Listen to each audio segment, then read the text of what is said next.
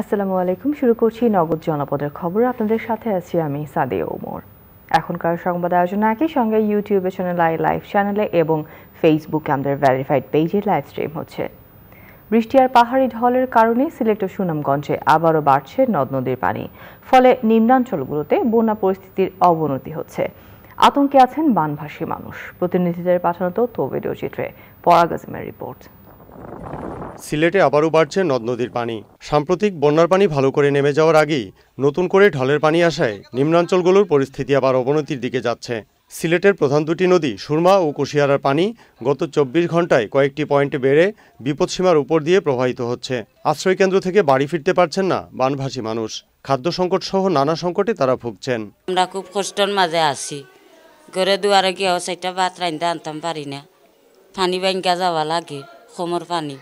রাস্তার পানি তো বাড়ির পানি তো লামছে না এখনও গড়ে দুয়ারে হাত বিচ্ছু উঠে। হয় আইও তারা স্কুলে পাঠিয়ে দিয়া যায় কি তুলবার লাগি? আইও আপনার তারা সাইনবোর্ড এখন বিচাই দেয় সাইনবোর্ডের মাঝে ফটো তুলিয়া লইয়া কয়টা পাঠিয়া মানুষের চারটা পাঁচটা জনে লইয়া যার গিয়া স্কুলে বিধান খানি আনি দিয়ে খানি পায়। এরা বাসায় বাসায় পাঠায় আমরা বাসার মাঝে খানি পাইরাম না। সুনামগঞ্জে মঙ্গলবার রাতে ভারী বর্ষণ আর ভারত থেকে নেমে আসা পাহাড়ি ঢলের কারণে অনেক জায়গায় এক ফুটের বেশি পানি বেড়েছে। এ কারণে মানুষের মাঝে আবারও বন্যা আতঙ্ক বিরাজ করছে। তবে সুনামগঞ্জ পয়েন্টে সুরমা নদীর পানি বাড়লেও তা বিপদসীমার চোদ্দ সেন্টিমিটার নিচ দিয়ে প্রবাহিত হচ্ছে। পরাগ আজিম, চ্যানেল আই।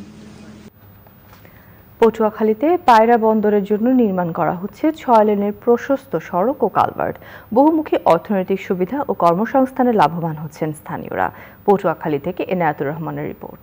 পায়রা বন্দরের মূল টার্মিনালে যেতে আন্ধারমানিক নদীর দুই পাড়ে ছয়শো চুয়ান্ন কোটি টাকা ব্যয়ে ছয় দশমিক তিন কিলোমিটার দীর্ঘ নির্মাণাধীন এই ছয় লেনের সড়কে থাকছে ছয়টি সেতু ও কালভার্ট।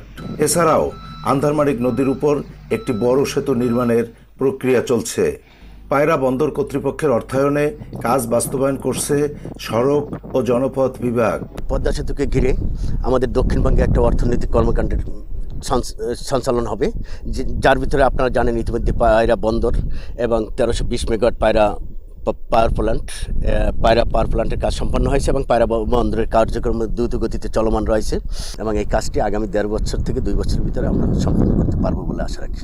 জমির ক্ষতিপূরণ ক্ষতিগ্রস্তদের পুনর্বাসন ও লাভজনক কর্মসংস্থানের সুবিধা পাওয়ায় নানাভাবে উপকৃত হয়ে খুশি এলাকাবাসী। এলাকার লোক তো সবাই বেকার ছিল আগে।